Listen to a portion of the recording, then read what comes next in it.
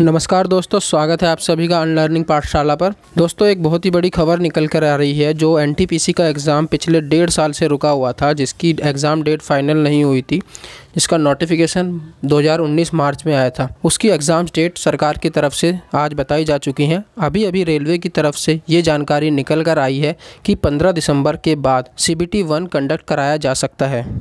दोस्तों, ये सब आपकी यूनिटी और आपकी मेहनत का ही फल है कि सरकार ने एग्ज़ाम डेट्स बताई, क्योंकि आज सुबह से ही ट्विटर के ऊपर वर्ल्ड वाइड ये हैशटैग ट्रेंड कराया जा रहा था आरआरबी एग्ज़ाम डेट्स और शाम को पाँच बजे पाँच मिनट तक स्टूडेंट्स ने थाली बजाकर भी सरकार का विरोध प्रदर्शन किया।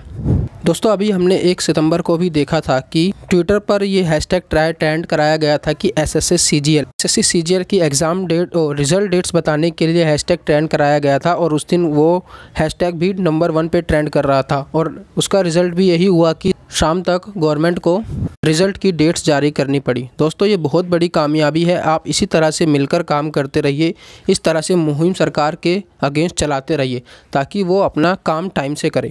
दोस्तों, अगर हमारे अंदर यूनिटी है तो हम किसी भी काम को सफल बना सकते हैं। बस यूनिटी की ज़रूरत है, और ये यूनिटी हमें आगे भी दिखानी है, ताकि आगे भी गवर्नमेंट अपने सारे एग्ज़ाम्स टाइम से कराए, हर चीज़ के रिज़ल्ट टाइम से पब्लिश करे, ताकि जो स्टूडेंट्स का क्रूशियल टाइम है, वो वेस्ट ना हो। सरकार के रिक्रूटमेंट प्रोसेस में तीन तीन चार चार साल ऐसे ही चले जाते हैं फाइनल ज्वाइनिंग होते हो।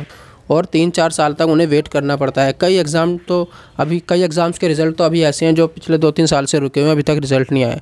तो दोस्तों, आपको इसी तरह से एक साथ रहकर, एक साथ मुहिम चलानी है। गवर्नमेंट के अगेंस्ट गवर्नमेंट पे प्रेशर बनाना है और वो अपना काम टाइम से करेगी।